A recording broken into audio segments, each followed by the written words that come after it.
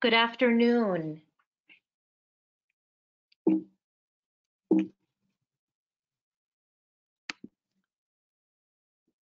And welcome. Thank you for, for joining us today.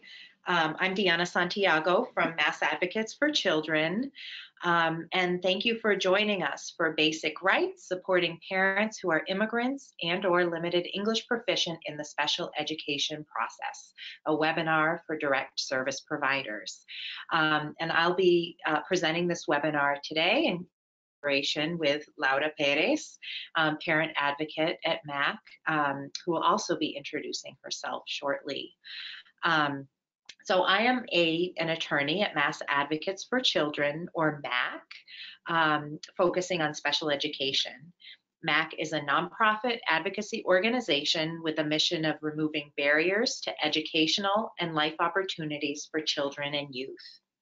We do this through education and training, legal assistance to individual families, and systemic advocacy. So at MAC, we have a project called Proyecto Acceso a la Educación Especial, which provides information and advocacy in the area of special education to Latino families. Through Proyecto Acceso, we have a helpline um, for Spanish speaking families to provide free of charge information, referrals, and advice in the areas of special education, student discipline, and bullying in schools. In limited cases, we are also able to provide direct legal advocacy um, to families in the area of special education through Proyecto Acceso.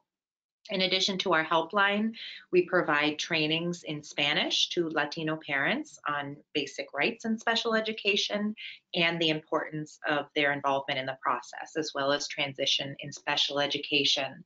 Um, so if you have an interest, if you regularly meet with a group of parents or have an interest in recruiting a group of, of Spanish speaking parents um, who would be interested in a workshop, then definitely um, contact us after the webinar. Um, and I will let Laura introduce herself. Thank you, Diana, and it's a pleasure being here. And thank you, uh, Diana, for the opportunity to facilitate this workshop together. I am Laura Perez, and I work as a parent advocate in different capacities. Um, and I'm also the mother of a 20-year-old young man uh, with autism. So besides the professional experience, I uh, also bring the experience of raising and advocating for a child with special needs. Okay, and we're also here with Lilia, uh, MAC's Communications Manager, um, who will be receiving your questions about the webinar. So I'm going to turn it over to Lilia to go over some logistics. Hi everyone and welcome. Thank you for joining us. Um, you should see a menu bar on your screen that includes a question box. You can submit your questions there at any time throughout the webinar and I'll be reading them to Diana and Laura during our question breaks. We will do our best to get to all of your questions today, um, but depending on the volume of questions we receive, we may not be able to answer all of them here. Uh, if so, then we'll let you know how to follow up after the webinar. You can also let me know of any technical issues or anything like that in the question bar. Um, you'll also see in the menu bar that we've provided five handouts, including a short video that we'll be playing for you today. Please feel free to download and print these. You'll also receive an email after the webinar with the handouts and a video recording. Lastly, please fill out our short survey that we'll be sending you after the webinar is over. We really value your input and this feedback is important both for us and for our funders. Okay, thank you, Lilia. Um, and just before we start, I did want to talk a little bit about why we are doing this webinar, um, focusing on immigrant and limited English proficient, which I'll refer to as LEP, uh, parents and students in the special education process um, and why we've done this. This is our, our third year um, doing a similar webinar. As you know, um, this is a population of students and families who face significant barriers um, and have been historically underserved. Since the election of 2016, in addition to many already existing barriers, immigrant families have been and will continue to face very real threats resulting from increasingly harsh immigration enforcement and open anti-immigrant sentiment. We're not immigration attorneys, um, nor do we pretend to be experts in immigration law and policy. We do know, however, that one effect of these forces is to further inhibit parent participation in the special education process. Parents are simply less likely to participate in team meetings or interact with school districts and other government agencies. We know that children whose parents participate access better services, so we see it as a priority to support them in our role. And why do we uh, offer this webinar to professionals like you? Uh, well, for a few reasons. Um, the one is uh, we often get calls in our helpline from counselors, case managers, social workers, many of whom are bilingual, looking for advice related to their clients on special education matters. Also, uh, we've seen that many of you are strong advocates for your clients uh, because of the knowledge and training you have. And they're also a great resource of support as your families advocate to uh, get the services that their children need. And then uh, MAC's staff can only go to team meetings, as uh, Diana mentioned, only in very limited cases. So we want to do what we can to support you in the advocacy you do for parents and children. And of course, you um, you, you work with the families and you see the barriers that the families are facing in these different school districts. So it's key that you uh, have this information. Okay, thank you. I think we're ready to start. Um, here's an overview. Um, yeah, so we are going to talk about uh, parents and the special education process with a focus on immigrants and uh, LEP parents. Uh, the next part, we'll talk about the steps that represent the special education process. And then throughout each of these steps, we will focus on the important role of parents for their children to access the services they need and tools that LEP parents can use to access services their children need. And we will stop for questions after the end of each of these sections, but please, as Lilia said, um, initially do send questions in as they come to mind, um, and then Lilia will compile them and we will stop um, for questions at, at certain points during, you know, during the webinar. And these are the goals of the webinar are to learn how laws can protect immigrant and LEP children in the special education process, to learn tools that parents um, that are immigrants or limited English proficient can use to be part of the special education process and get needed services for their children. So special education is a complex area of the law and there's really no way that we can go over the process in a lot of detail in one webinar. So for that reason, I'll say now and remind you throughout the webinar often um, that MAC's Helpline is a resource that's available to you if you have questions about a specific family that you're working with. And at the end of the webinar, there is a uh, list of resources that includes um, MAC's uh, Helpline. The way that it works is that you call um, or a parent can call and leave a message. And then within two to three days, um, someone from our office will contact them um, to gather more information and to determine, you know, what, what additional information we can provide. So these are legal protections um, that apply um, to immigrant families and children um, and children with disabilities. This webinar um, is really all of the information that we provide in the webinar is based on these laws and stems from these laws, um, which include the federal law, the Individuals with Disabilities Education Act or IDEA, the Civil Rights Act of 1964 or Title VI, which provides protections um, to people based on national origin, the Equal Educational Opportunities Act of 1976, and state law, including Chapter 766, which is the, the Massachusetts State Education, Special Education Law, the Look Act, um, recently implemented in 2017, um, which is a new bilingual education law in Massachusetts that I'll be talking a little bit more about as well as the Student Opportunity Act, which is really very recently implemented um, at the end of last year. Um, something that's important to keep in mind, if nothing else from this entire webinar, is that the right to a free and appropriate public education applies to all eligible students with disabilities, regardless of their immigration status.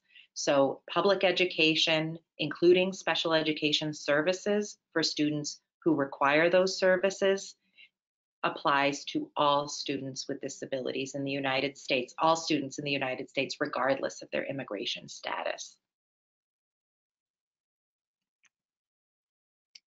As uh, part of Proyecto Acceso, uh, MAC has developed a series of videos, both in English and Spanish, uh, on special education. And you can see the different topics here from requesting a school evaluation to immigrant special education, interpreters, uh, getting documents in your language, responding to the IEP, and uh, getting an independent evaluation or a second opinion. All these are very uh, important topics for our families.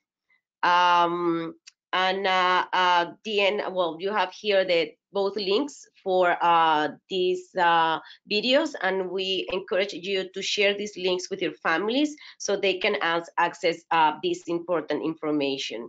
Um, in a, in a, I think the next will show a short clip of one of them. Yeah, and I just, uh, you know, again, that the rights that are highlighted in these six short videos stem um, from laws that we will be discussing throughout the webinar. Um, so we would definitely encourage you to uh, use and share them widely. I'm just we're just going to show part of this um, video, and again, the links are included here. Whoops.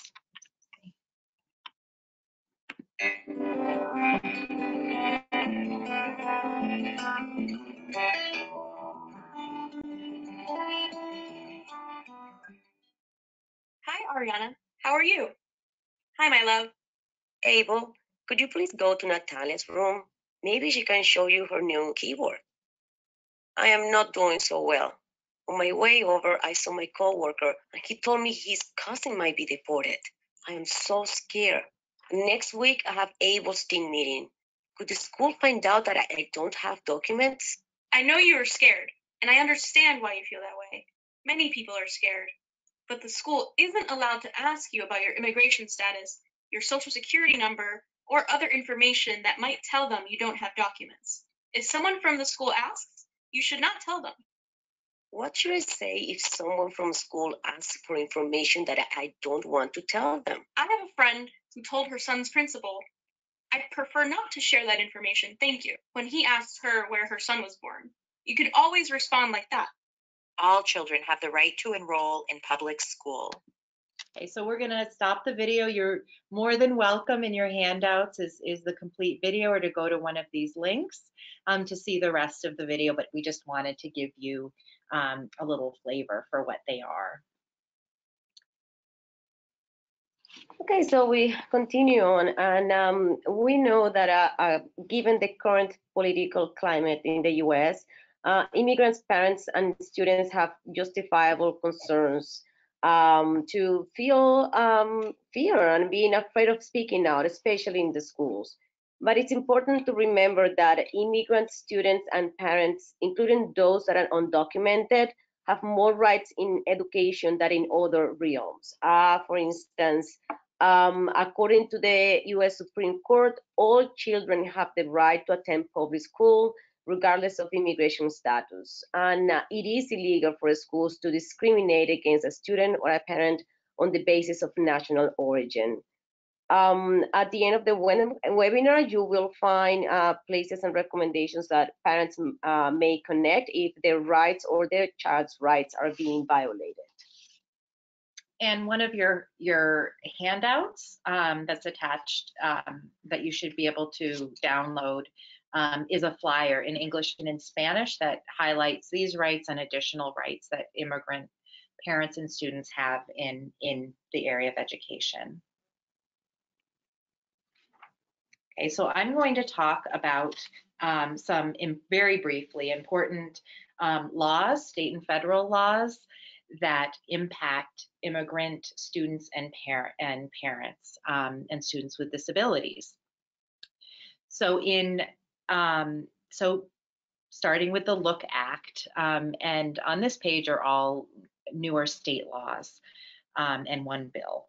So one of them is the Massachusetts Learning Opportunities for Our Kids, or Look Act, and uh, which was went into law in Massachusetts in um, in 2018. And what the Look Act does is shifts from an English only mindset um, in terms of instruction for English learners and all students, really, um, that has been in place um, since Massachusetts in 2002 by voter re referendum became um, a quote unquote English only um, state in terms of instruction for students. So in 2002, the law, that law passed and options became very limited for school districts in terms of instruction of English learners um, and, and all students. Um, so this law, so instruction was primarily provided using a sheltered English immersion model um, with restricted use of native language instruction.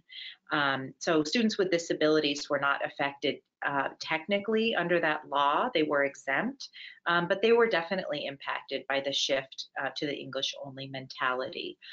Um, so with the Look Act, there is uh, school districts can offer more instructional models, including dual language models, and that has already started to happen um, throughout Massachusetts.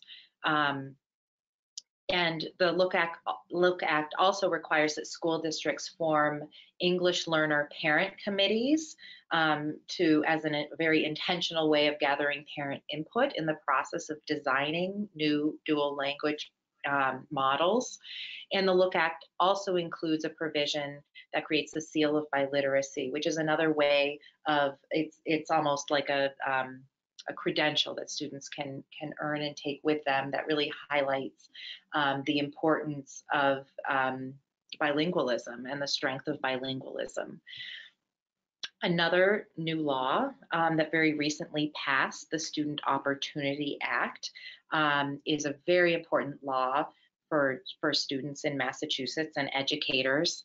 And in, in very short, what the Student Opportunity Act does is increases the funding rate per student that's needed to provide an adequate education. Um, so the new formula also takes into account additional spending for English learners, low income students, and students with disabilities. And under the Student Opportunity Act, school districts are required to submit evidence-based plans every three years um, to show how they'll use the funds to close achievement or opportunity gaps that we know to exist.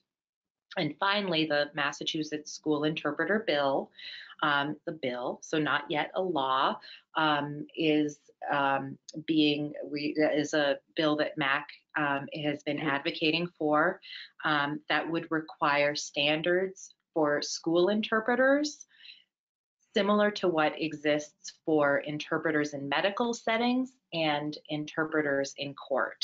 Um, so as many of you as direct service providers, if you go to team meetings, um, you'll likely have seen a very wide range in terms of the training and qualifications that, that school interpreters have, have received, and they serve a very important role um, to support parent participation in the process.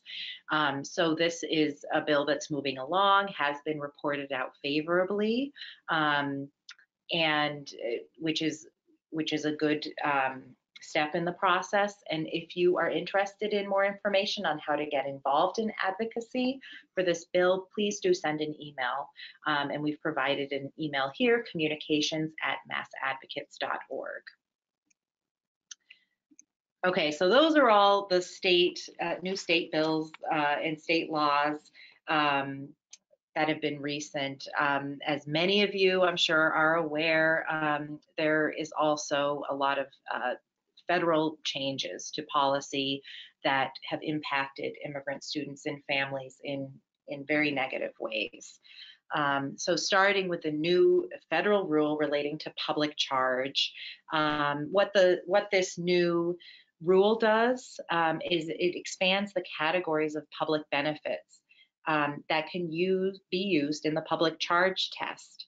Um, so for immigrants who are applying to remain permanently in the United States, I should say some immigrants um, who are uh, applying to remain permanently in the United States, um, the Department of Homeland Security uses a, a weighing test um, to as a means for assessing whether a person is likely to become a public charge.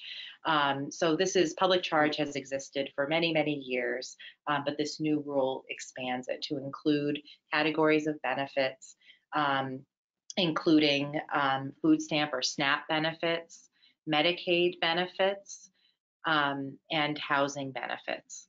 Um, it's important to note that um, children ages 21 and under who access Medicaid benefits, um, as well as pregnant women, are exempt um, from this. From this, um, or I should say that that that factor is it would not be weighed against them um, in a determination of public charge. Um, the law also this new rule also requires immigration officials to heavily weigh age, which negatively impacts children and the elderly and certain health conditions um, in making determinations about whether an individual is likely to become a public charge.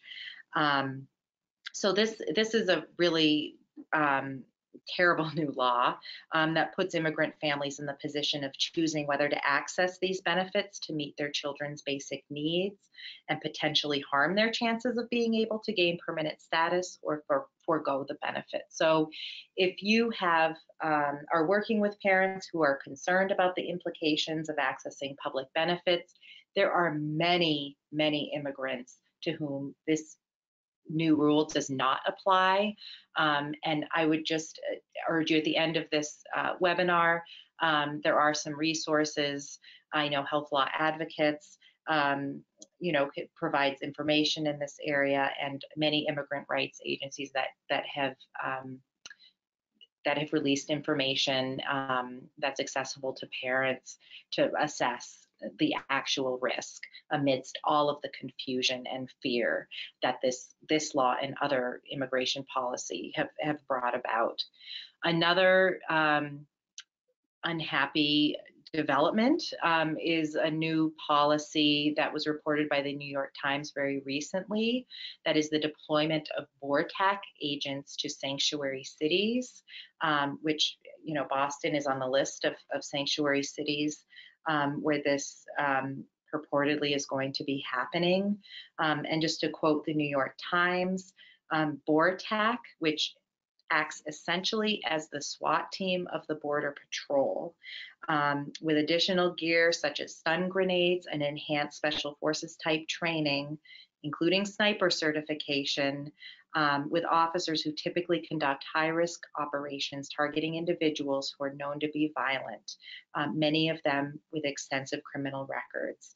Um, so these are agents who are typically used on the border um, to uh, target drug smugglers and cartels, and, and they're being deployed to sanctuary cities um, with the purpose of instilling more fee, fear among immigrants in, in these cities. Um, the 2020 census. As many of you are likely aware, the, the Trump administration attempted to add a question um, regarding citizen status to the um, 2020 census that they were not successful. The Supreme Court did not allow them to add this question. Um, despite that, um, the chilling effect remains, um, especially in combination with all of the other anti-immigrant policies. So, um, afraid, you know, with with reason and and confused. There's so much confusion around who is impacted by what laws, um, what choices, um, you know, immigrant families should make for their families, um, and um, so you know, we really want to, you know, validate that fear and confusion. Um, at the same time, we see our role as highlighting, um, you know, the rights and providing, you know, correct information um, regarding the rights of immigrant families um, and children so that they can make um, the decisions that are, are best for their families based on, on true information.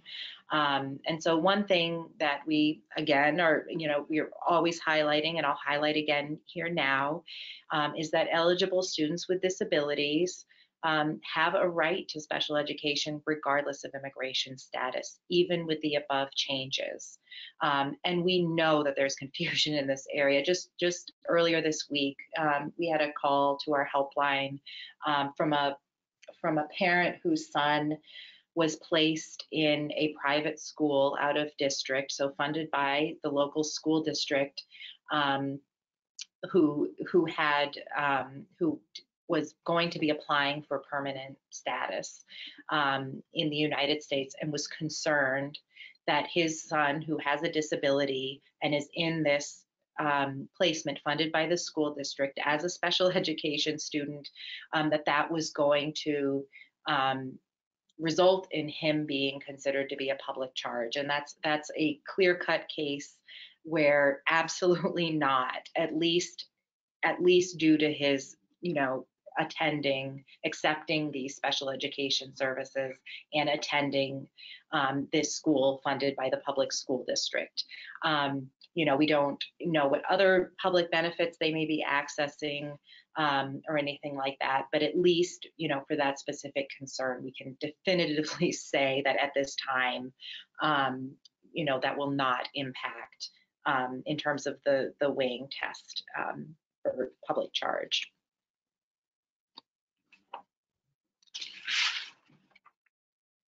And um, so we uh, come to a section that is it's um, it's uh, it's key, which is uh, parents are very not important, are very important in the process of special education. Um, no one is more invested in a child's well-being than their parent or guardian. Um, parents also bring important information to the special education team uh, they're the ones to see firsthand their child's not only struggles but also strengths and they can also report on their child's learning and development at home and in the community which is different to what the school can be seeing in school this means parents are the real experts on their child and as such their voice is key in the special education process and uh, it's not just saying that uh, the law requires that school uh, gives parents advance notice of all team meetings and give consent before doing any evaluations and implementing the IEP. Unfortunately, as many of you may see firsthand, the reality is that it doesn't always play out in practice. For instance, parents get to the meeting and there's no interpreter, uh, or the interpreter is not a qualified interpreter, uh, so the reality is that uh, children whose parents are involved in the process and fight uh, and are knowledgeable about the process and fight for what they need will be prioritized by school districts in the special education process. Okay, and just to, to reiterate this really important point here, um, when a parent's language, primary language is not English. Um, the law requires that the school district provide trained and qualified interpreters at all team meetings. So it's not enough for the individual serving as an interpreter to be bilingual. That person also must be trained in the ethics of interpretation, confidentiality, confidentiality, and the specialized terminology that's used in special education. Um, in addition, the school district has the obligation legally to translate all IEPs, evaluations, and school notices into parents' primary language if that's what they prefer. Um, if that is not happening, and I'm sure that many of you in working with clients have seen um, that unfortunately this very often does not happen. Um, what I often recommend is that um, as an initial step, if the parent has seen that this has been a problem, perhaps the school district has been providing a specific interpreter who um, who is not qualified and has not really allowed them to meaningfully participate in a team meeting, that although they shouldn't have to do this, this isn't, you know, an obligation of the parents here, um, but it's often a good idea to just in advance of the team meeting in writing through an email or on paper, just ensure that the interpreter that will be at the team meeting um, will be trained and qualified. Um, we know that delaying team meetings can have implications for students. Um, so while that is, you know, an option for parents at the meeting to say, look, I don't want to move forward with this meeting because I can't meaningfully participate, we know that sometimes that decision can be complicated by urgent circumstances that their children are dealing with. So, um, so I, I would always suggest that if it's been an issue in the past to raise it with the school district. Um, and if that continues to not be effective, um, or if the parent just knows that there's there's not really um, an, an, intention by the school district to resolve the issue um, without another push, the parent does have the op the option of filing a complaint with the State Department of Education Problem Resolution System. Um, and here there's a link um, to that, and there are forms available in many different languages. Um, if the parent completes it in English, they can actually submit it electronically. They haven't yet um, allowed that option for, for students who speak other languages, but the forms are translated. And if you or if a parent that you're working with is interested in some guidance on how to complete that intake and what information to provide in addition, then definitely do contact MAC's Helpline for guidance and templates.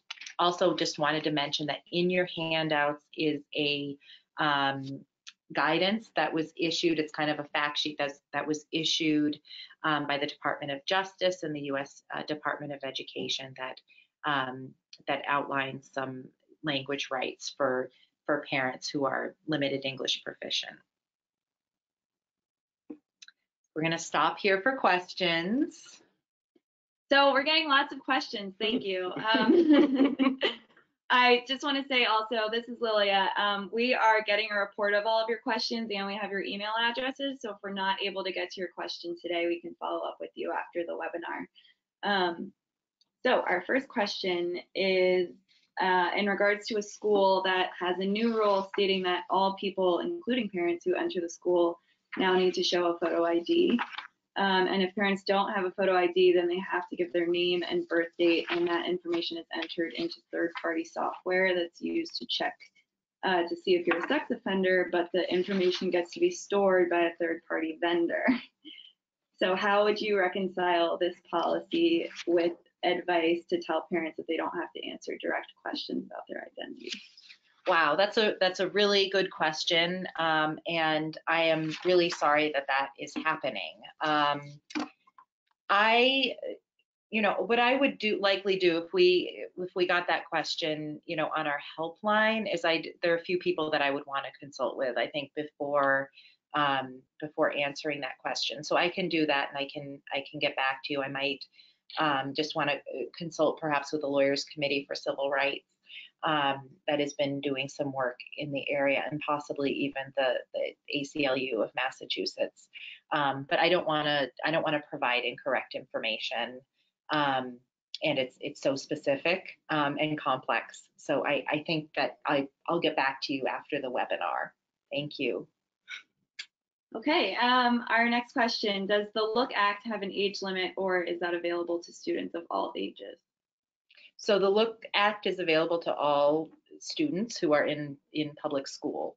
Um, so it's you know it, there is no age limit, um, but it is it's an act that allows school districts, so public school districts, um, generally for students up until you know, about the age of 18, but sometimes up to 22, as we know, for, for students with disabilities or maybe some students with interrupted education. So, um, but it's, it's all public school and it's really, it's not a mandate for school districts, um, you know, to create these new models of instruction, um, but it allows them the flexibility to create these models. So it's a reason why the English Learner Parent Advisory Councils, or these, you know, that are also school districts are required to have that parent input um, is is so important because if there's a kind of convening of a group of parents who are interested in seeing um, more options for dual language instruction in school districts, then the school district is more likely to respond um, and to create those models. Um, we had a few questions about public charge and BORTAC, what the BORTAC officers are, if you know what that stands for, um, and what you mean by public charge, and whether they can come to schools, the officers. Okay, so I'll start with the with the public charge.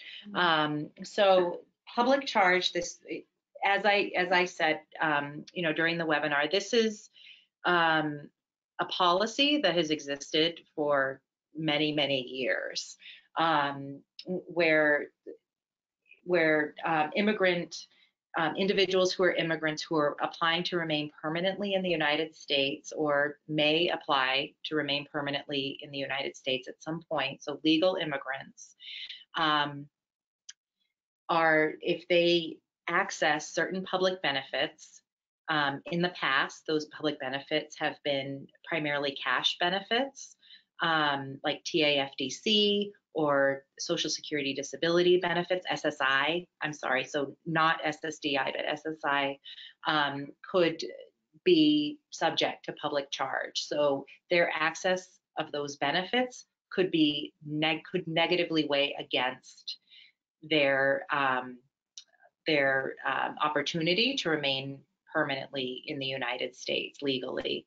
Um, so what this new rule relating to public charge does is expands the category of benefits beyond um, those cat, you know, cash benefits um, to include Medicaid benefits, so health benefits, um, public health benefits, um, and um, food stamp SNAP benefits and and housing benefits, which just affects more families um, and you know who may be legal immigrants who are applying to remain permanently in the United States. So that's that's what the public charge does rule does. It's intended as a deterrent for legal immigrants um, to access these needed benefits and is just sends a message that um, even legal immigrants really, you know, aren't aren't welcome in our country um, and allows them you know less opportunity to meet the basic needs of their families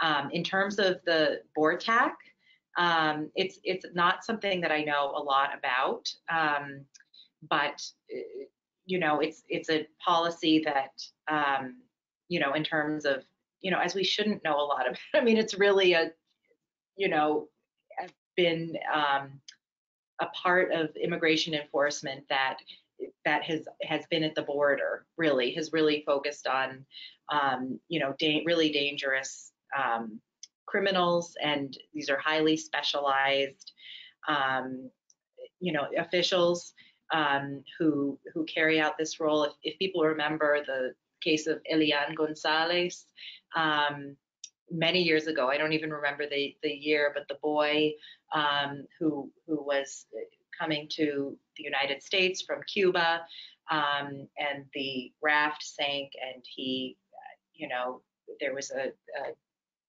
a little like little a major dispute between Cuba and the United States regarding you know where this child should be and there there are these infamous images of, of officers um, you know finding him in his closet with guns drawn and bulletproof vests and you know those are BORTAC um, officers, which were very inappropriately in, infamously used in that case. Um, but these these officers also in our cities are, are really um, you know unnecessary.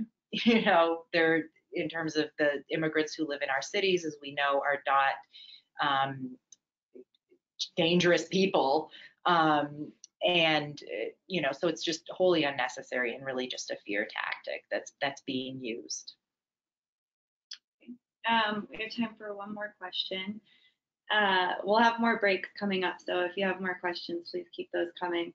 Our last question is is it the school's responsibility to interpret communication from parents if it's not in english? So for example if parents write a letter to the school to request an iep meeting and their letter is written in spanish. Yes yes, so students, it, it is the school district's obligation um, to communicate with the parent um, in their primary language. Parents have no obligation to, to have that information translated um, into English before sending it to the school district.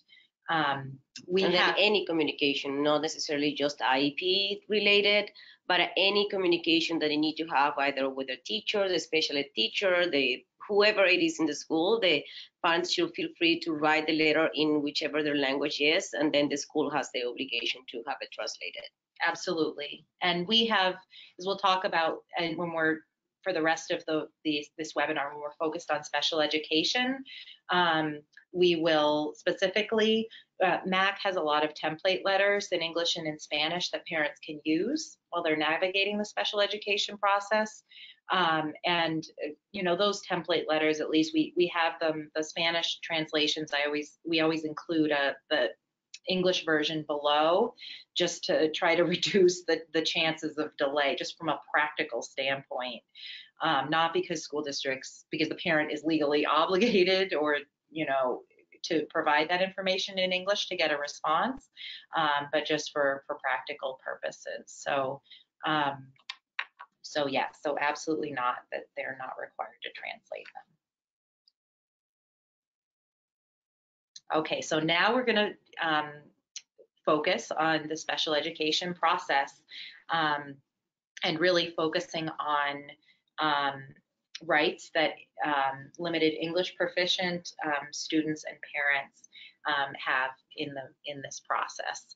And this this slide is the overall special education process and timeline split up into three steps, including a referral for an evaluation, second step, which is the team meeting, and the third step, which is the school district issuing an IEP and the parent's response to the IEP.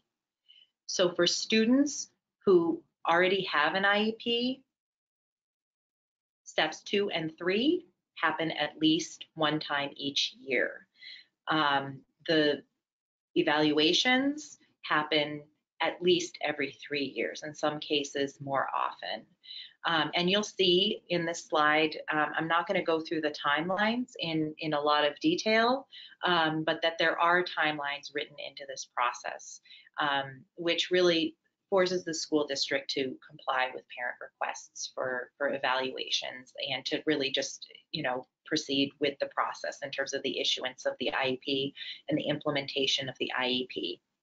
Um, so, so throughout the rest of the workshop, we're going to talk about each of these three steps. And I should say IEP stands for Individualized Education Program. I apologize in advance, um, you know, for those of you who are, who are less familiar with the process. And, and we will talk more about what, um, what the Individualized Education Program or IEP um, is a little bit later in the workshop.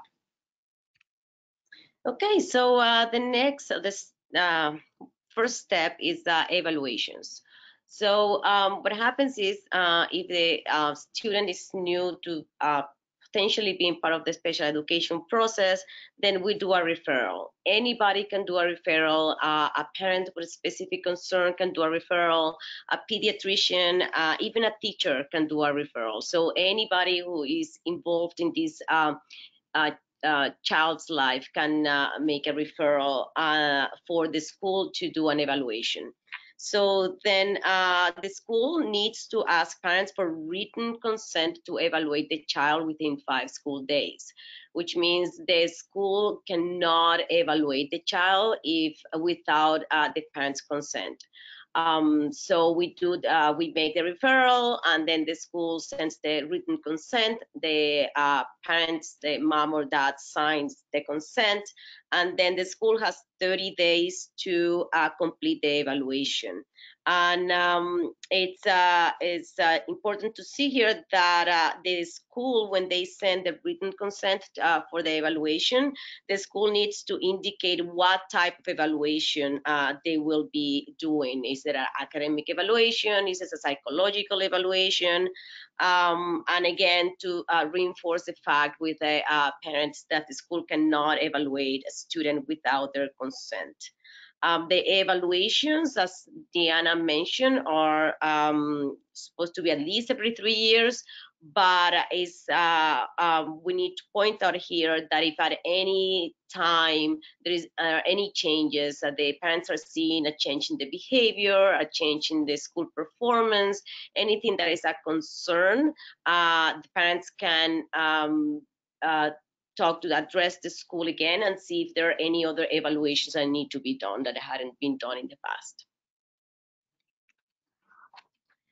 And then we have, uh, um, mentioned before, different types of uh, evaluations. So we have the, the required assessments like educational or any uh, assessment related to the child's disability, can be a speech and language uh, assessment, an OT assessment, um, and we often suggest to parents with uh, children with a disability that affects speech to also request an assistive technology evaluation, as many school districts will not initiate this otherwise.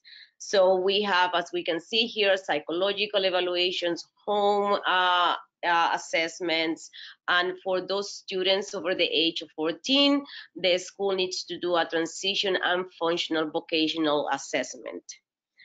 Um, uh, then we have the uh, another tip type of evaluation could be the functional behavioral assessment. If uh, are we observing any um, behavior issues? Is there anxiety? What is triggering these uh, behaviors? So um, that's when the functional behavioral assessment comes in. And then another one is uh, observation. We can uh, parents or independent evaluators or any uh, professional that is um, tending to the child on a regular basis, they can make an appointment and then go observe the child and to make sure that uh, see if the child is making progress and if the program has the ability to enable the child to make effective progress. So we can observe um, as in, uh, for instance, if we see different behavior at home versus in school or in the community, then that's a good uh, reason uh, to do an observation, what to understand why the child is behaving differently in different environments. And we can also ask to observe in different uh, environments, like it's very different to observe a child during recess or during the cafeteria that a, uh, that a child who's uh, in a math class or a science class. So it's, uh, it's important to do this, those observations also in different environments. And um, we often ask parents to contact our helpline if their child has a therapist or social worker and whether that person would be willing to go to the school to observe, uh, that they give a professional point of view that is very important to advocate for any changes or services in the school. And uh, as someone familiar with a child outside the school environment, your insight and documentation of that insight can be very useful for parents seeking changes or even clarification about the special education services their child is receiving. Okay, and just, you know, all testing that is done for the for the students and this applies to English learner students um, must um, be in the form, you know, including in the language most likely to accurately assess what the child knows and can do um, academically, developmentally, and functionally. So school districts, um, for English learner students, if they require testing to be done in their native language, then the school district must conduct testing in that student's native language.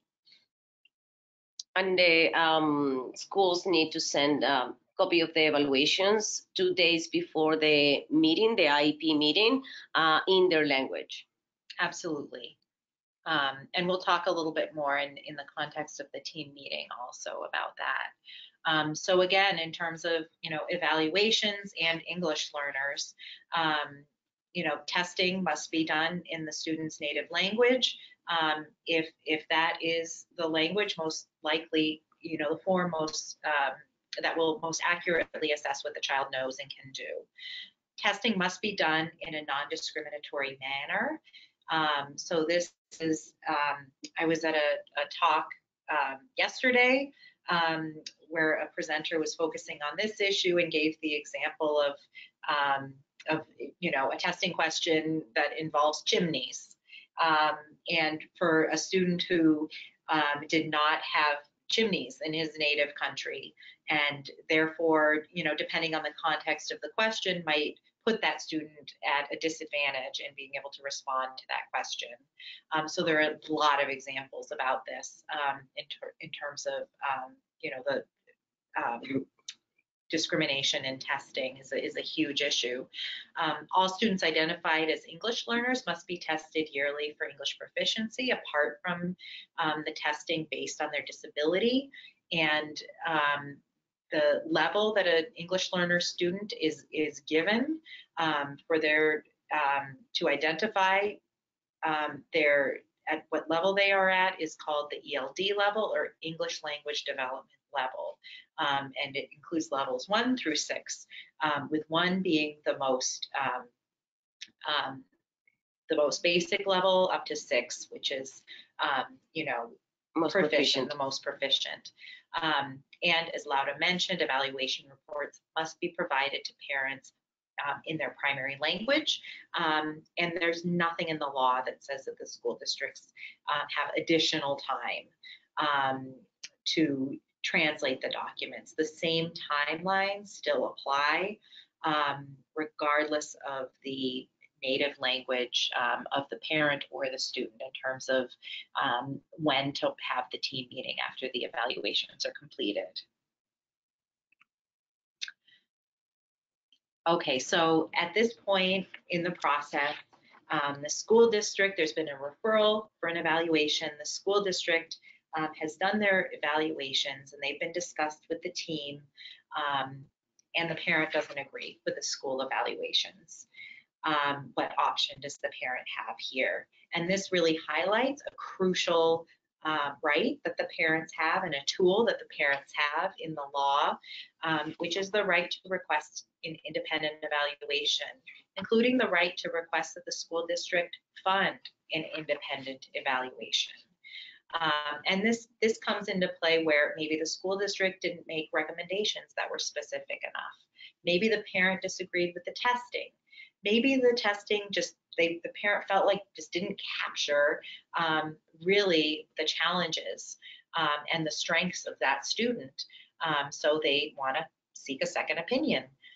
And there, there are different options um, for seeking school district funding for an evaluation. Um, the first option um, being the request that the district pay for the evaluation costs using a sliding fee scale. so this includes paying for the entire cost of the evaluation up to 400% of the federal poverty level for, for a household. Um, so it isn't only very low income families. Um, and then after that point, it, it, the sliding fee kicks in. Um, for students who are eligible for free or reduced lunch, the school district must pay um, for the, the cost of the evaluation automatically um, without the parent showing their income information.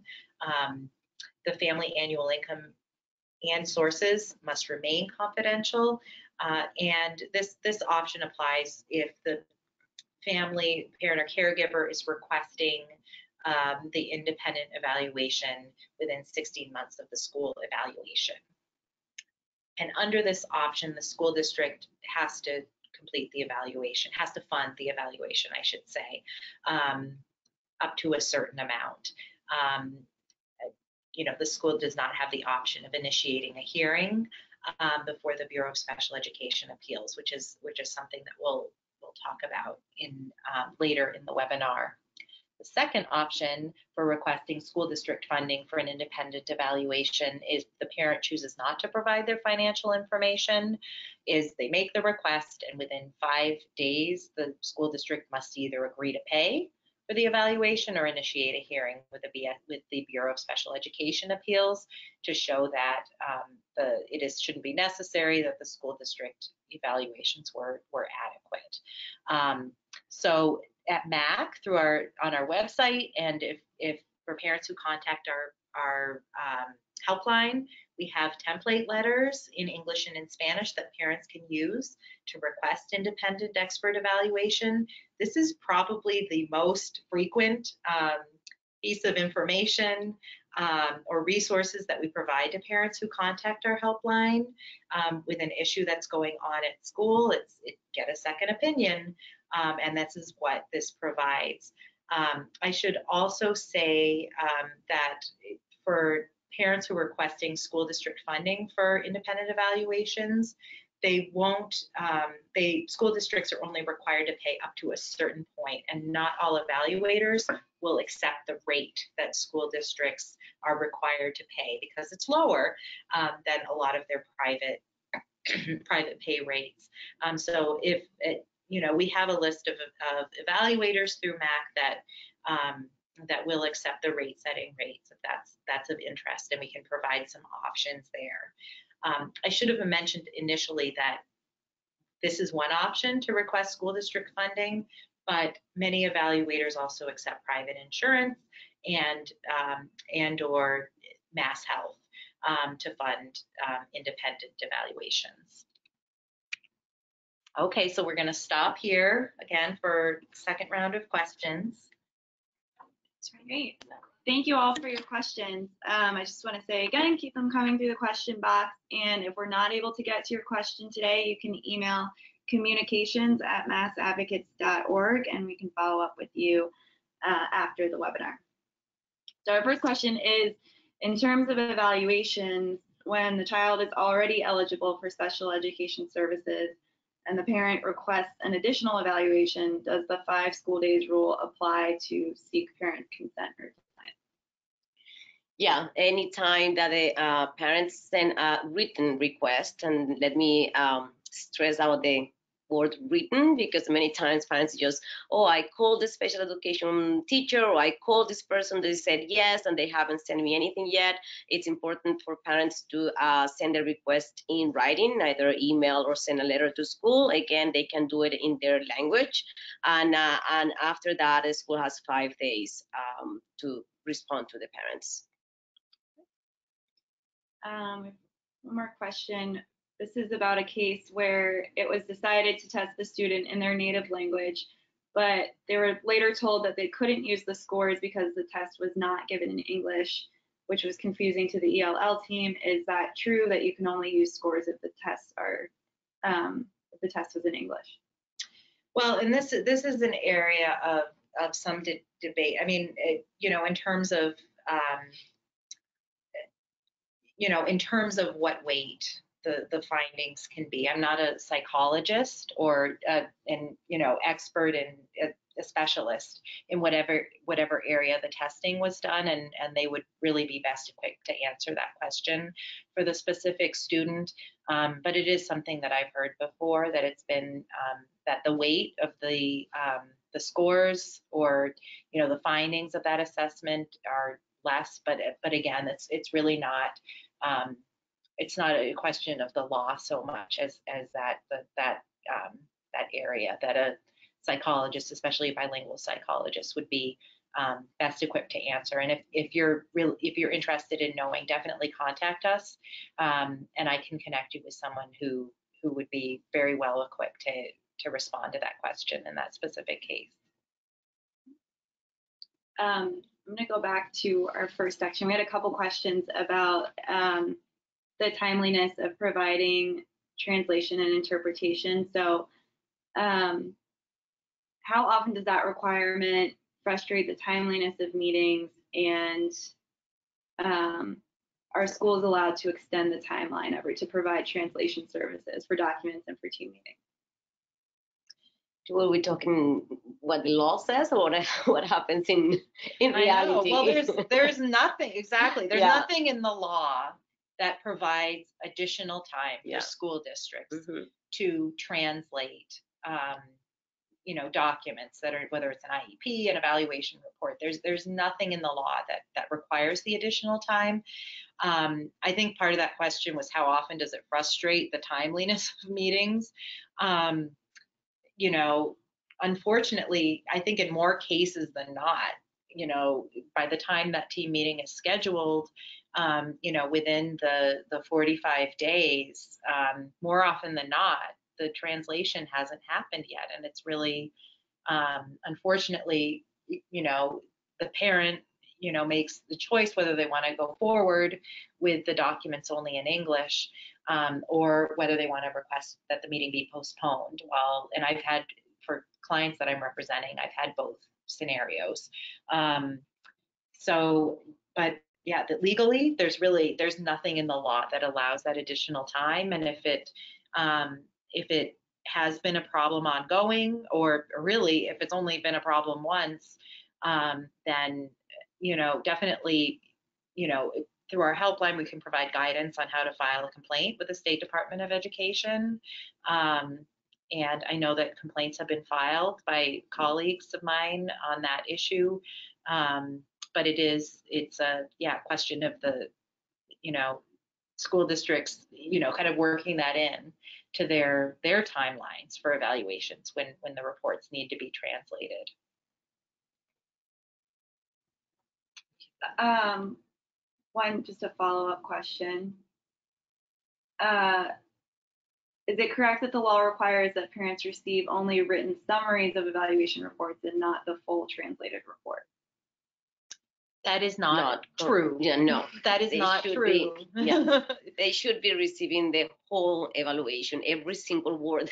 Yes, Word and in writing. Didn't And you have a writing, case? yes. Somebody had a case where they were gonna verbally read the Yeah. entire IEP in English or, in In Spanish, Spanish, yes. and that that was fulfilling this requirement. And no, I mean the, the parent is entitled to have the entire report translated in writing. Um, because really it's it's necessary for that parent to be able to have the opportunity to meaningfully participate in the process.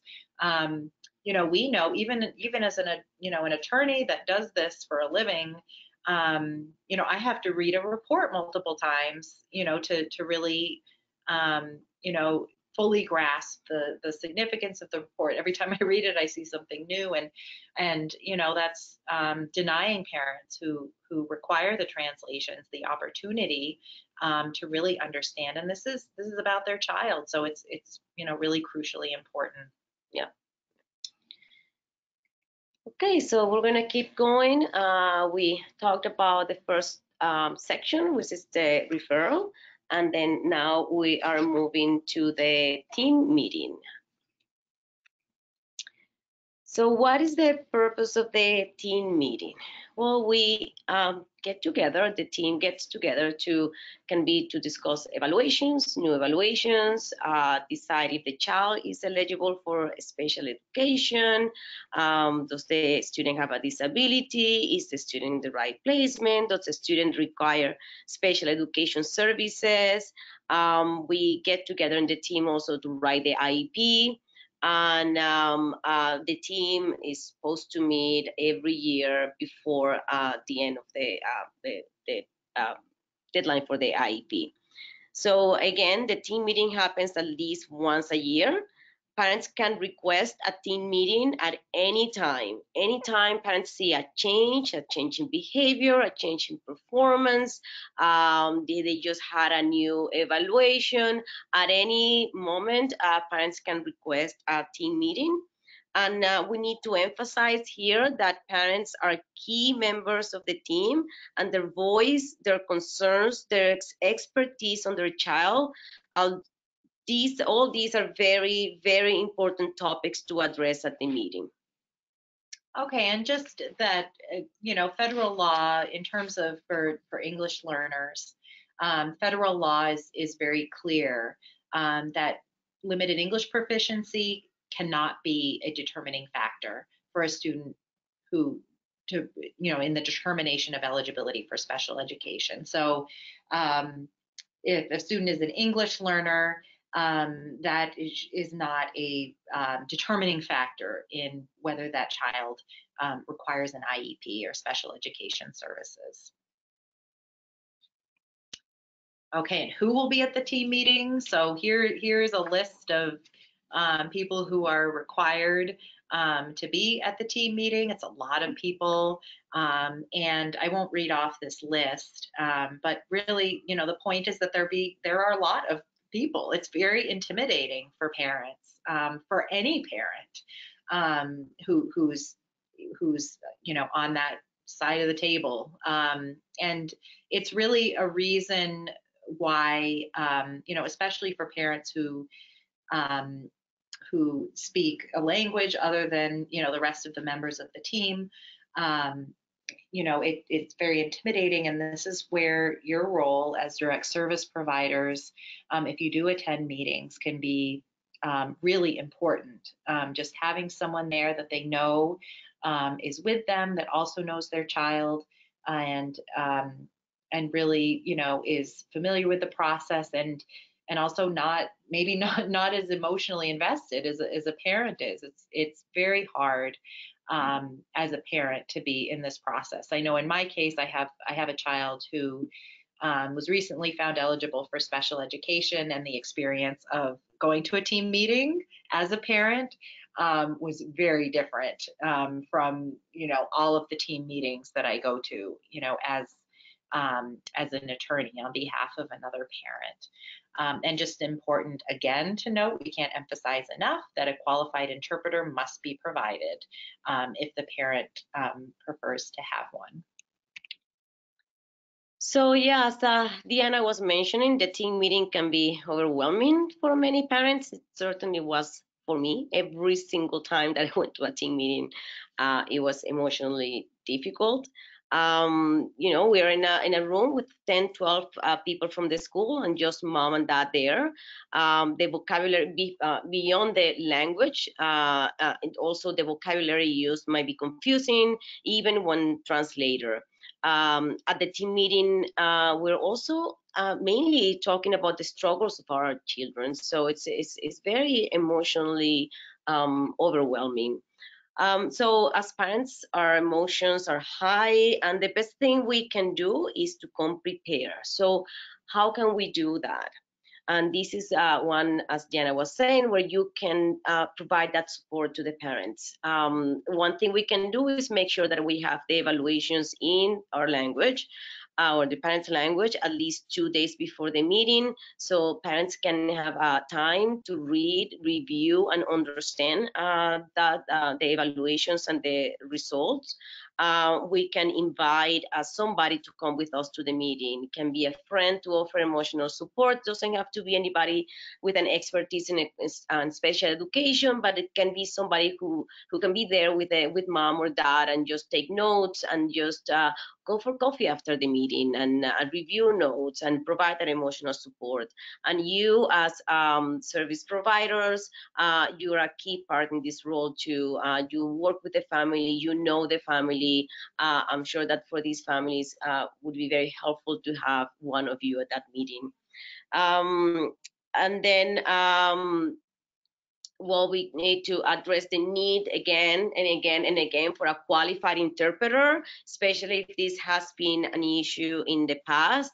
Uh, it can't or shouldn't be the front desk person who happens to be bilingual or this other teacher who happens to be bilingual. As Diana mentioned, it has to be a qualified interpreter.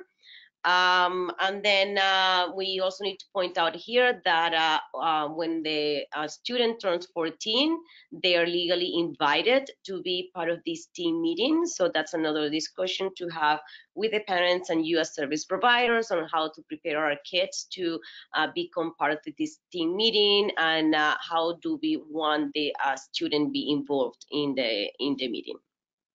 Okay, thank you. And we'll stop again for questions.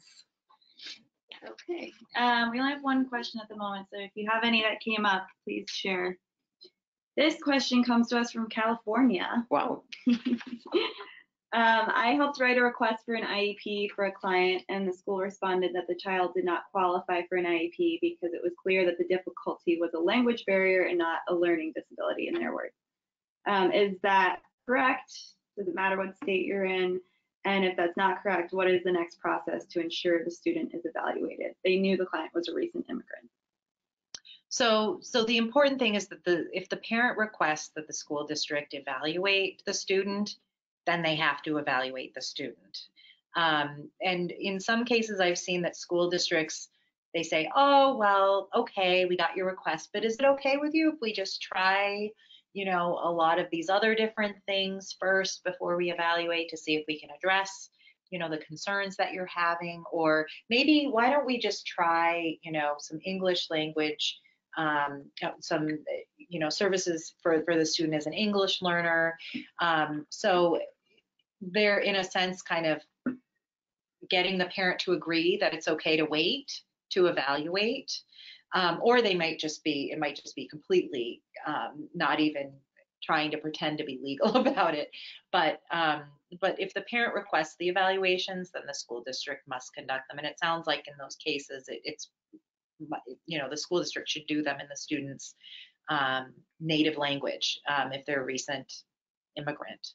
Um, so so that's I think the the really important thing to keep in mind there, um, and just for the parents to continue being push you know pushy, be pushy, be you know like no I you know where's the consent form? Like okay your paperwork but please you know within five school days um, you know, expect the consent form in English and in their primary language, and um, and for them to to act, the school district to act as soon as they receive the the consent form to to start the evaluations. So that would apply nationwide?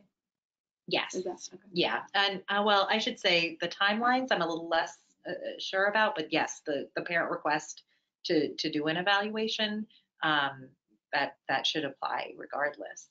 Um, but sometimes it's just you know requires parents to be pushy and not um, you know talked out of it or or kind of you know given the runaround about it um, and just you know continue to to push for that. Um, our next question is what qualifications should a parent expect of a translator? It's a really good question. Um, and, you know, according to the federal guidance, um, which is actually a, the summary of the federal guidance related to um, interpreters, is is attached as a handout to this webinar. Um, uh, but it, what that um, guidance outlines is that um, the interpreter must not only be bilingual, um, but they must be trained in the ethics of interpretation, confidentiality, and the specialized terminology um, that's used in, in the setting. So if it's a special education um, setting, you know, there's plenty of specialized terminology and that interpreter should be prepared to um, with you know translate to interpret that terminology. Um, and I mentioned that in Massachusetts we have this bill that would um, uh, would require school districts to um, to provide um, training and assessment of interpreters that are used to, um, in school settings, similar to what exists, you know, in court and in medical settings, um, to be clear regarding what the skills and competencies are, um, you know, that uh, that should be required of interpreters in schools to allow for meaningful uh, parent participation.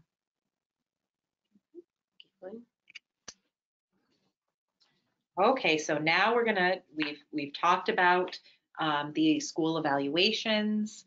Um, we've talked about the team meeting. Um, maybe we've talked about, um, you know, an independent evaluation um, that has been um, something that the parent has pursued. now we're gonna talk about step three, which is the parents receive the IEP or the Individualized Education Program um, and the parent's response to the IEP. The IEP is a really important document, and it's really important that parents um, early on, um, you know, become familiar with the IEP um, as as intimidating as it can be. And this again, this is where um, service providers can can be serve a really important role um, in you know reviewing a, a, proposed IEP with a parent, um, to for them to you know become become familiar and um, and just to to help with that understanding. Our helpline also, you know, parents can call us if they have questions also about the IEP and and through our trainings we talk we talk a lot about um, of course the IEP and and uh, sections of the IEP. So you know, absolutely contact us if you have parents who um, you think would be interested in coming together for for a workshop on that. Um, but IEP so important. It's really, it's the contract that outlines the services that the student needs to make progress in school and that the school district is required to provide. So it kind of encapsulates all of the determinations that the special education team has made um, regarding the services that that student requires, um, their goals, and a lot of other information that we will touch upon um, here. Yeah. So this is a kind of a summary of the contents of the IEP. Um, we're really not going to have time to talk about each section of the IEP in depth. Um, but I'm going to touch on kind of key areas where parents um, really have the opportunity to participate and that are that are you know it's all important, but you know some tools that um, that I that we can highlight um, kind of in understanding the IEP. And the first area um, that I just wanted to highlight was the parent or student concern section of the IEP, um, which is the part of the IEP where the parents document their concerns. And in Massachusetts, this section is for parent input only. Parents can write whatever they want in this section or can can express to the team um, whatever they whatever they want, whatever's concerning them. Concerns can be academic, social, or emotional. Um, they can be concerned that their child um, doesn't have friends, that their child isn't leaving their room, that their child, um, you know, is, uh, you know, they have concerns about their child's ability when they're completing their math homework, that it doesn't seem to be, you know, at the same, in the, you know, they don't seem to be able to access, um, you know, the, the curric- academic curriculum in certain areas, you know, whatever those concerns might be. They can be very wide ranging. Um, concerns they have about the student at home, in the community, um, at school. Um, and really, the parent concerns are so important um, it, because it, it's really maybe the only place in the student record where those concerns are documented for that given moment in time. Um, so it's important that they be accurate and um, oftentimes, you know, the parent, even if they come to the meeting prepared um, with a list of their concerns, um, the school district may summarize in a way that really doesn't accurately reflect what the parent expressed. Um, so we, we suggest that parents submit something in writing. Um, if, if that's something that they, you know, that they opt to do, that's kind of the best um, way to go about it and request that the school district incorporate that. Um, if not, then just to, to check that section of the IEP once they have the, the translated version to ensure that it really accurately reflects um, what they expressed, you know, at the team meeting. Um, so, okay, so, and then we'll talk about some of these other areas. Yeah, so the IP services, uh, these are just um, uh, examples of some of the services in an IEP. Uh, any of this, or occupational therapy, speech and language therapy, parent training, teaching aids, the um, basically any service that uh, the student needs to learn new skills and information and to make progress services to help the student uh, grow and make progress not only academically but also socially and emotionally so the student can um, is able to function in school at home and in the community And this can be really uh, wide open based on the unique needs of the student. Um, and the determination of services cannot, can really only be based on the needs of the student. They cannot be based on the availability of certain um, personnel that are needed, or certain providers, or the cost of services, um, or anything like that. Um, so it, it, really should be based on the, the individual and unique needs of, of the student who has a disability. Okay, here we have the service delivery grid, which is is probably familiar to those of you who have who kind of regularly um, work with parents of children who have disabilities. Um, and this is a really important part of the IEP that summarizes um, all of the services and consultation that the school district is required um, to provide to the student. Um, and it specifies where the service is required to happen or in what setting. So you'll see here on this slide um, that it's uh, divided into A, B, and C. Um, consultation, uh, special education and related services in general education classroom and special education and related services in other settings. Um, so in terms of consultation, that's services that the student may not see. I mean, ideally the, the um, specialist who's providing the consultation um, you know, also sees the student in the classroom. Um, but the student, this is just kind of talking about strategies um, in working with a student um, to ensure that those strategies are can be are being used, you know, across settings, both during while that child's receiving the direct services and and beyond that.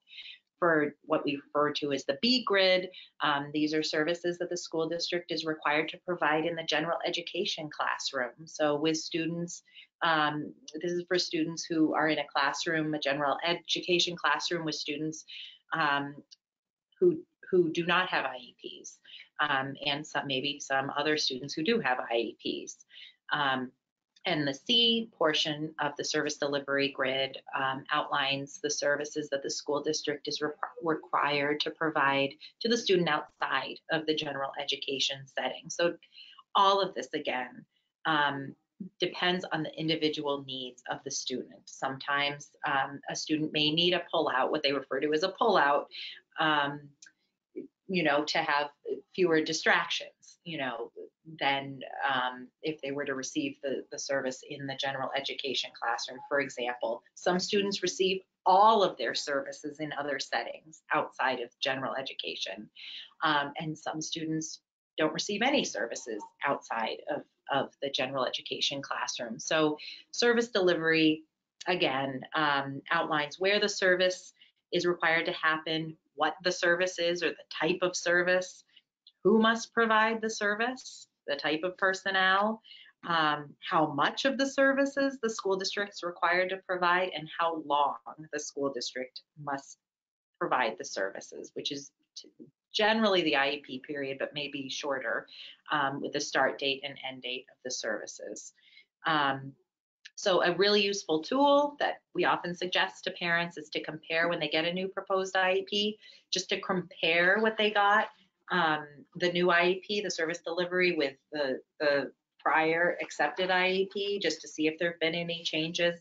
And if there were any changes that were not discussed at the team meeting, then the parent should definitely bring that to the school's attention in writing in their response um, because that that shouldn't be the case there should be no surprises and no changes that the, the student the parent wasn't made aware of at the team meeting i should say that this is kind of filled in the service delivery and this is a student who requires pretty um, minimal services um, actually in the in the realm of, of services, but just wanted to provide an example here for how a service delivery grid might be filled out.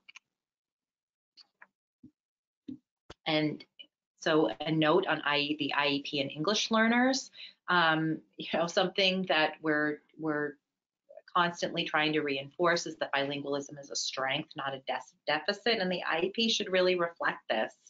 Um, so in, uh, you know, whether it's in the student strengths and key evaluation results section of the IEP, you know, highlighting that this is a bilingual student um, and hopefully identifying ways in the school community or in the larger community, maybe for a transition age student, um, where they can use their, their bilingualism, um, you know, in, in, a way that is strength focused, um, you know, is really important. Um, the team must discuss the impact of language needs of the LEP student as related to a free and appropriate public education or as related to special education services. So um, the special education team must address the needs of the student as an English learner and as a student who has a disability. Um, can't one can't take priority over the other, um, but they but both must be addressed and both must be, both areas of need must be res- reflected in the IEP, um, really for the student to receive um, FAPE, the free and appropriate public education, which is which is what to which they're entitled. Um, the school district must indicate specific needs and required instruction to address language needs throughout the IEP. And there's no like formula for doing this really. I've often seen it in on the pages that are um, present levels of educational performance where they talk about the accommodations and modifications you know that are required for the student you know often um, this area is addressed there happens to be a check mark box for LEP students, you know, on that page, but really there's no formula. Um, you know, this could be incorporated into the goals um, or really any any portion of the IEP, depending again on the unique needs of the student. And we'll stop here again for questions. give it a second. We have a lot to get through today. Um, I'm getting some comments as well, which I will share with Yana after the webinar. Just a reminder that you can email communications at massadvocates.org if there's anything you want to follow up about after the webinar. Okay. Um, so we're gonna go for Yeah, so let's uh, um, talk now about about transition requirements. There are two times in our um, students' life that are uh, uh, transition uh, turning points. One is when they turn three, and the other one is then when they turn 14. Um, so by the time they turn three, um, the district must provide IEP services if the child is eligible. And then um, uh, by the time they turn 14, uh, we start the process of transition to adulthood. Um, and then uh, uh, they need to have a transition assessment, which is then translated into the uh, goals in the IEP. And we need to include here any services in the school or in the community to prepare the, the student uh, for work or for higher education, for independent living, for, uh, you know, whichever the goals are for or the vision uh, for the student after um, he or she leaves uh, high school.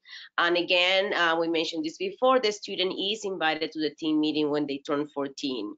And, and uh, we um, need to mention here too that uh, uh, services when uh, for these um, transition um, assessment or the, the transition into adulthood, uh, the services don't have to be only inside the classroom. They can be offering the community, such an internship. Uh, the student needs to learn transportation skills or driving lessons, uh, anything that the student needs so they can be productive members of their homes and community, of course, within the limitations of their disability.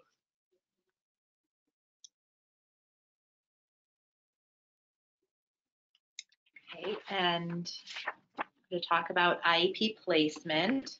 Um, so the, the placement refers to um, the setting in which the team decides that the student um, needs um, to be able to learn um, and make progress in school. So this again is a decision that's made by the IEP team um, and the team can only consider the unique needs of the child legally.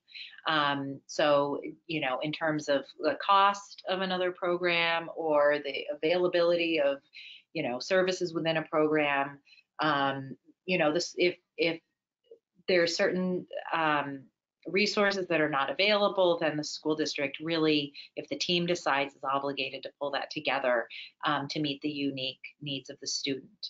Um, the law does refer to uh, prefer um, inclusion of students with, with disabilities with non-disabled students as much as possible, regardless of whether that student is um, performing at grade level. Um, so, you know, this is often referred to as the least restrictive environment. If a student um, can make progress, for example, in um, a a full inclusion program or in general education, um, then the school, the team, um, it would not be appropriate if you know to place that student in a in a substantially separate placement. We'll say, um, and there are many placement types um, ranging from from full inclusion, um, which is the least restrictive environment, it's general education, um, to a residential placement, which is the most restrictive. And this image here on the slide is a refers to a um, the placement consent form or a portion of it that lists the different kinds of placements and the definitions um, for each kind of placement, including um, the proportion of time to which you know the student is is pulled out um, of the general education classroom. Um, you know, for this is placement is is a big issue. Um, you know, for uh, you know, for English learners, um, especially English learners that re require specialized instruction, um, you know, due to their um, to their their being English learners. And if they require, you know, primary language instruction, for example, it's a big issue. Um, they need to be placed where they can receive that instruction if the team decides that it is what they need um, to be able to make progress. A note, a, a kind of advocacy point that's really important if the IEP team is proposing to change a student's placement, it is crucially important that the parent observe the proposed placement before accepting it. This is so important um, for the parent to see really what the placement is going to be like, what the peer group is going to be like, what type of environment it's going to be for their child, um, you know, whether their child, whether it's going to be a good fit really for their child. Is those are questions that really the parent is only going to know if they observe um, the placement that the school district is proposing.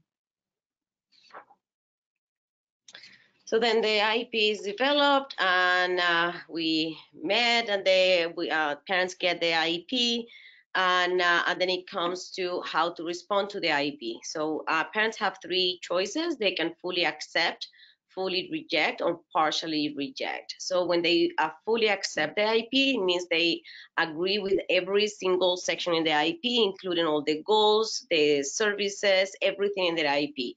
And same thing for the full rejection. It means that they don't agree with anything, anything that is um, written in that IEP um, what happens most times, I would say, is that uh, parents partially reject the IEP, meaning that they agree with some sections of the IEP, some goals, some some services, and they reject either um, uh, some services or they reject the fact that they uh, decrease the um, the amount of services or they uh, reject the omission of certain services like uh, the school is not offering speech and language therapist or they're not offering a one-on-one aid so the parents can uh, partially reject the omission of those services in the IEP. Um, I think that's it. Yeah.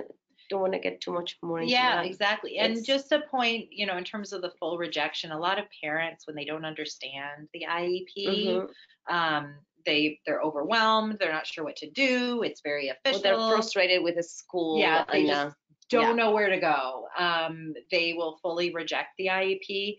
Um, and the impact of that is is that the school district will continue to implement the prior um, accepted IEP, so that it will they'll continue to receive special education services unless it's the child's first IEP, um, in which case the student cannot start to receive services until the, the IEP is signed.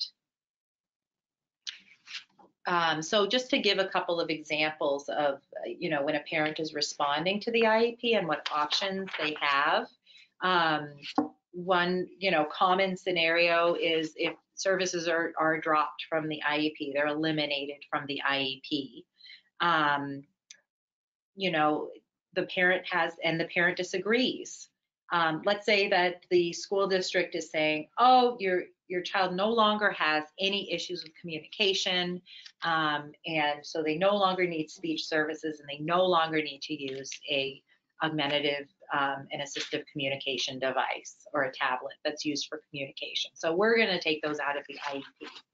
Um, well, the parent disagrees because the parent knows that child at home and in the community and continues to see the difficulties that, that, that their child is having, you know, in that area.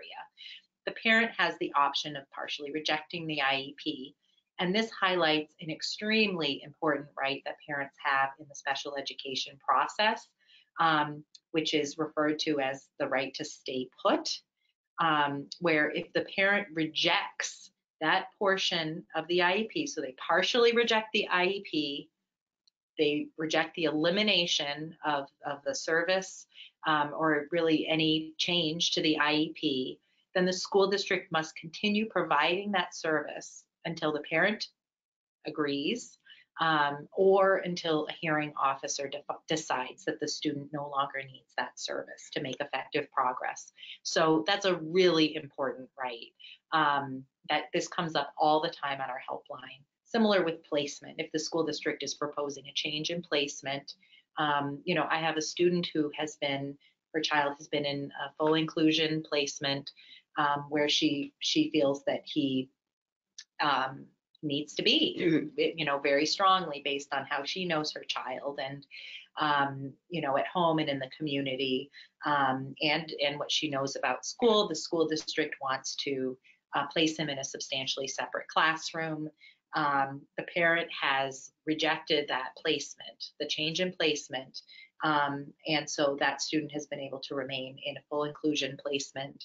Um, you know, pending, you know, the resolution of the dispute, um, which gets to the importance of the independent expert evaluation, which I should have spelled out on this slide.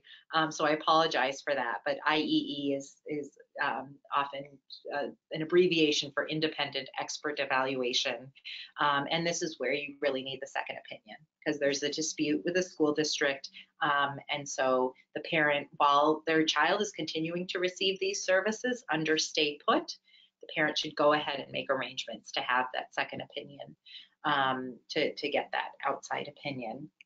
And whoops, just another scenario that comes up um, is where services are not added to the IEP that the parent has requested be added. So maybe that the parent has arranged for an independent expert evaluation and that has been presented to the special education team and it's recommending um, let's say that that student um, receive, you know, occupational therapy, direct occupational therapy, um, you know, to address that student's sensory needs.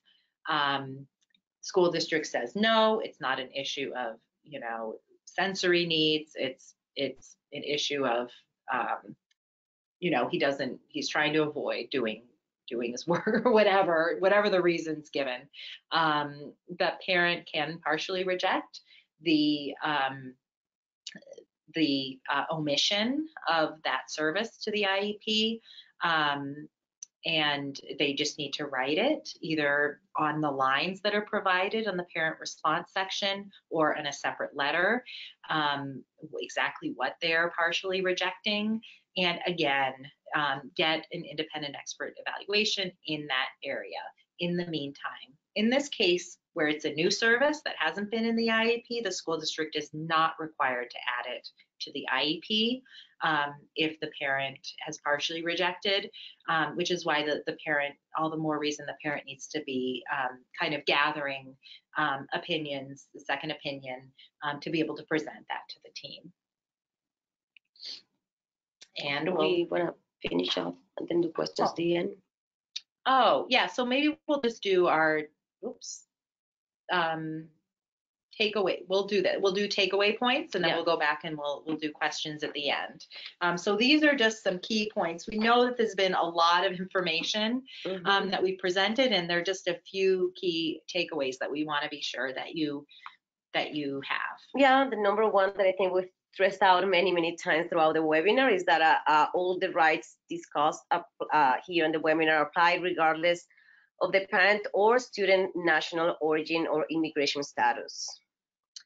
Children receive better services when parents are involved. And interpretation translation is required by law and essential for many parents to participate. Evaluations must be conducted in the student's native language if necessary. And the IEP must address the language needs of LEP students with disabilities. School districts cannot eliminate services from the IEP without parent consent or a decision from a hearing officer to do so, also referred to as stay put.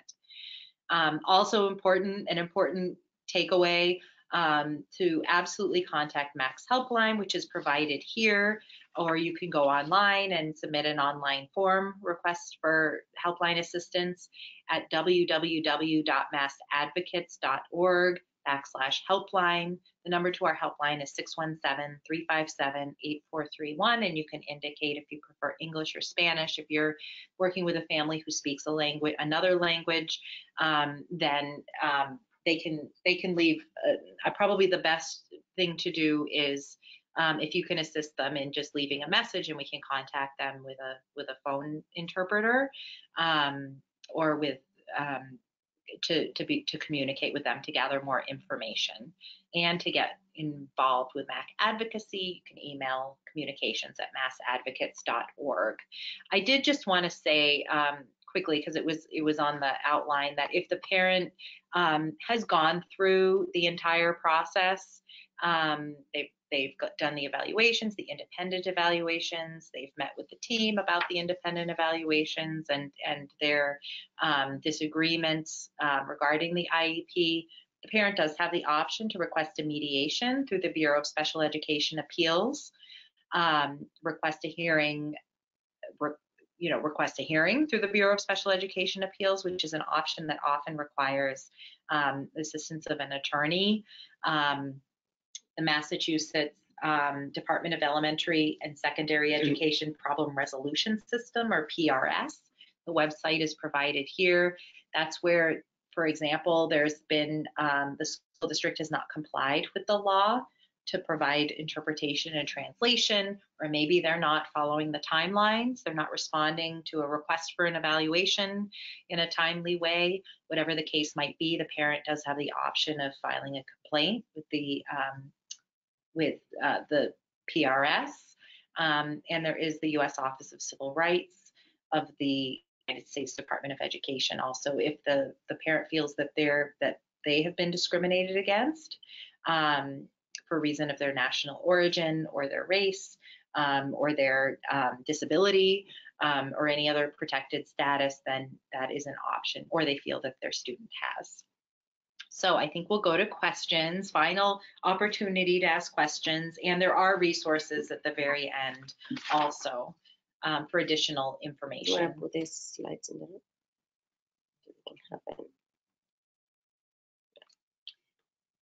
Um, so we had a couple questions related to transition. One of the questions is, do you have recommendations uh, for schools regarding transition planning for undocumented students aging out who are not eligible for adult services, uh, like group home living, respite, supported work services, adult day programs um, through adult agencies once they turn 22.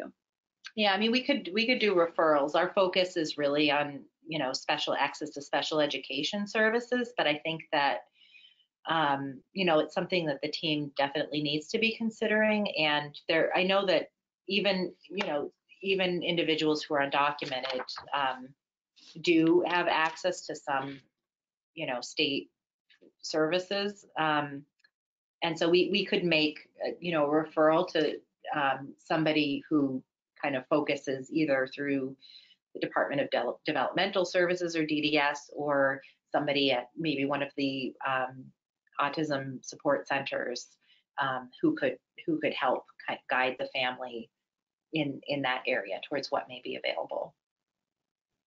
Okay, next question. How challenging is it for parents to obtain funding for IEEs?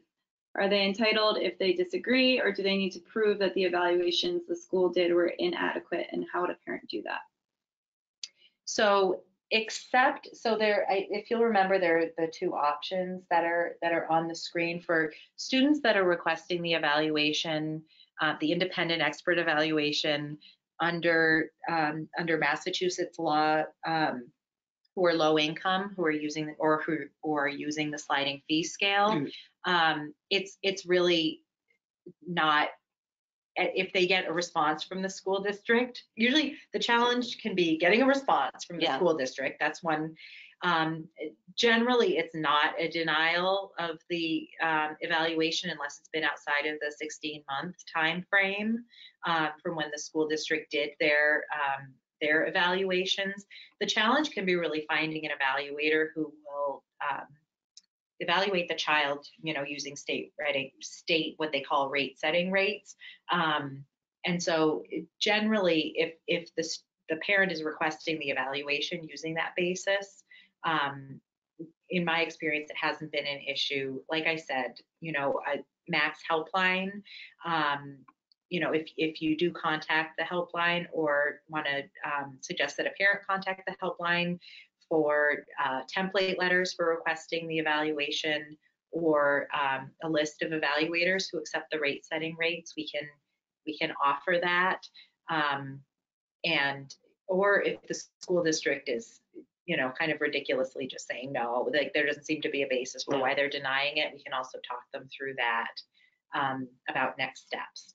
And also, uh, it's uh, it's a key to find an evaluator that is an expert on the um, area that we're trying to evaluate, uh, whether it's uh, you know uh, depending on the disability, and they, they they work with the age range of the student, and they and they can really evaluate. Some evaluators are more uh, evaluating to trauma or autism or different things, so it's important to make that distinction too. Yeah, to make all those consider, and we can talk through with parents. Um, you know, contact our helpline, or if if you call the helpline, you know, on their behalf.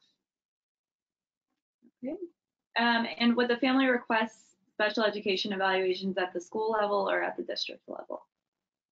It shouldn't really matter. I I think it varies from school district to school district. Yeah. Um, so it it really doesn't matter. We we often suggest that parents um, CC the include the special education director in a request um, if they if they know who that is in their request for an evaluation. But um, the school district is on you know is really obligated to respond to the request, whether it's submitted to the principal, um, you know, or somebody at the at the local um, you know school um, or at the district level. Um, so it's just you know if they haven't received the consent form within five days of submitting the written request for the evaluation, definitely follow up because things do fall through the cracks.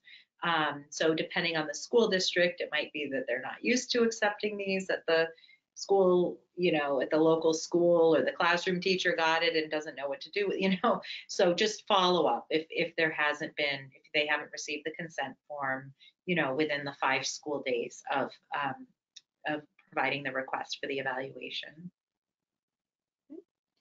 Um, we just got a comment. There's a directory of bilingual school psychologists that do testing and evaluations on the National National Association of School Psychologists website. That's nasponline.org. Thank you so much. nasponline.org. And if you just search bilingual directory on their website, you'll find it. Sounds like a great resource. We're always always in in demand. It's that's another challenge, you know, in, in terms of requesting IEEs. Is there very few. We work primarily with Spanish speaking um, families at, at MAC just because of we have Proyecto Acceso. Um, but even even with the most commonly you know, spoken um, language, Portuguese is a big need. Yeah. yeah, I mean it, it's very it can be very challenging um, to find a, an independent evaluator who can evaluate in Yeah. um, in the student's uh, native language. So thank you. Now we just have a couple of quick questions related to um, ESL classes. Do ESL classes need to be included in the IEP and are ELL teachers required to attend IEP meetings? So yeah, I yes, I mean there should be an ELL um, somebody who represents the ELL um, side of the student if, if that student is an English learner at team meetings. A lot of times, um, I know in Boston frequently uh, teachers are, are you know have all these certifications. They're dually cert. They're a Mhm. classroom, te- you know, they're a general ed teacher, they're a special educator, you know, and they have their ELL um, certification or endorsement. So, um, you know, it may be the one person, you know, who's representing that need of the student, but um, yes, they they should be at the team meeting. And um, I think the other part of the question was about. Um, there was another part of that question. I'm sorry. Um, ESL in the IEP. Oh, in the IEP. Mhm. Um, yes, if that student is an English learner, it, it must be addressed in the IEP. There's actually a, a page in the IEP, um, present levels of educational performance B, um, where there's a set of check mark boxes at the top, and one of them is LEP student. Um, that, that shouldn't be enough. The check mark, box- just to say, I'm not saying that the check mark box should be enough, but, um, you know, that's one place where absolutely it should be indicated, and then there should be, depending on the needs of the student, it should be, um, you know, throughout the IEP, infused throughout the IEP, the needs um, of that student as an English learner. Okay, thank you so much for participating. Um, Yeah, thank you, everyone. Um, we weren't able to get to everyone's questions today. If you have an urgent question that we weren't able to address, you can contact our helpline. That's the number on your screen, um, 617-357-8431. Can direct you there. Um, and then if you want to follow up on anything, you can also contact communications at massadvocates.org. And again, please keep an eye on your email inbox. We're going to be sending out the handouts and a recording of today's webinar to all our registrants. And please fill out our short survey you'll be getting as soon as you close out. It's only three questions. You'll be getting an email about that as well. Thank you.